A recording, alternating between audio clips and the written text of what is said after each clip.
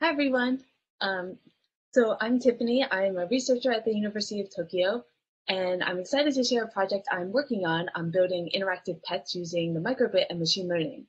So what you see here is an example that responds to the sound of my voice. So when I see when I say different words, it reacts like this. Hey, happy, sad,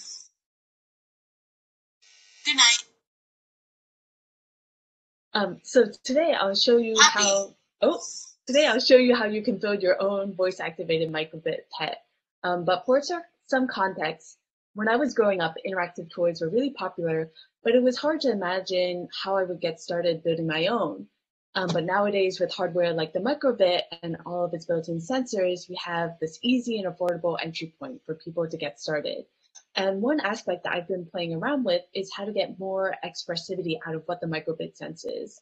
So um, for example, if we look at the microphone, which I'm really excited has been recently added to the new microbit, um, different programming environments might let you sense things like how loud or how quiet it is. And while I think this is a really great way to get started, it doesn't provide a lot of freedom beyond that single dimension of volume. So what if we could use sound sensing to understand not only how loud we're speaking, but what we're actu actually saying, what our speech is. And this technology of speech recognition is really powerful and it's in many devices and technologies like Siri and other virtual assistants.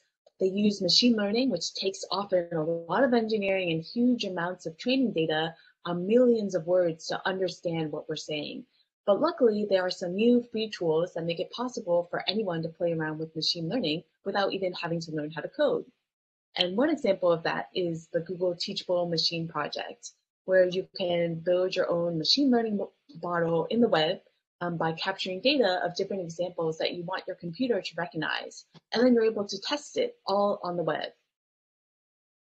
So with Teachable Machines, you can choose from a few different input types. And today I'm going to very quickly walk through how you will create an audio machine learning model um, so that we can construct a model that or a microbit can then use to react to our react to our voice.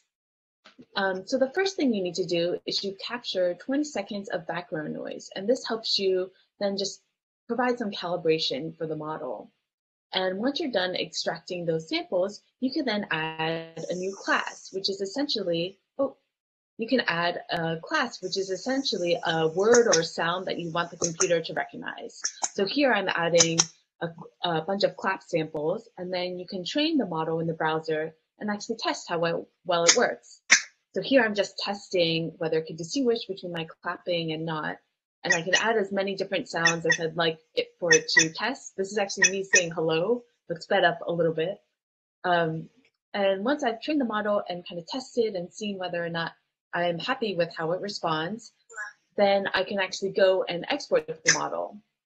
Um, when you export the model, you can upload your model to the cloud and then you get a link that you can then use in other applications. So that's how we're actually going to take what we created uh, using Teachable Machine and bring it in to an environment to program or a microbit.